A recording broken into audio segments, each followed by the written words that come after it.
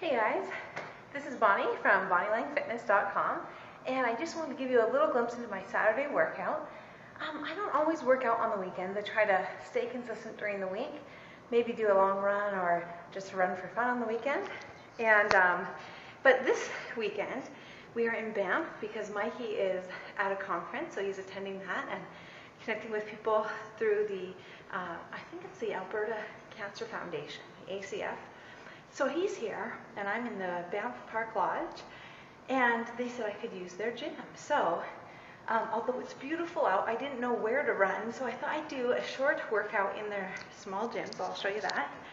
So we've got Livestrong bikes back here, and an elliptical, treadmill, TV, pool, and there we go, some weights. So I just thought I'd show you what I'm doing. I'm doing 20 minutes, as many rounds as possible, of 10 pull-ups. Since I don't have pull-up bar, I'll show you what I'm doing instead. Five burpees and five man makers. So I'm 13 minutes in, so I better quit stalling, and hopefully you can catch a glimpse of it.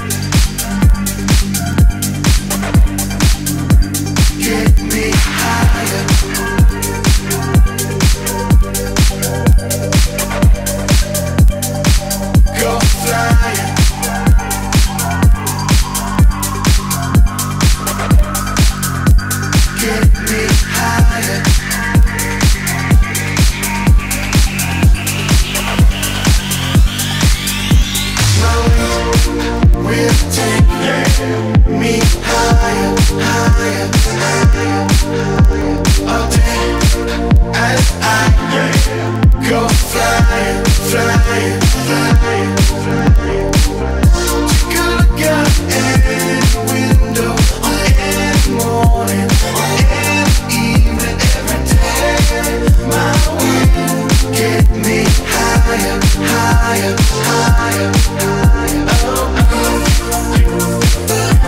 oh. So, about 14 minutes in, six to go. Great weekend workout. Good workout anytime.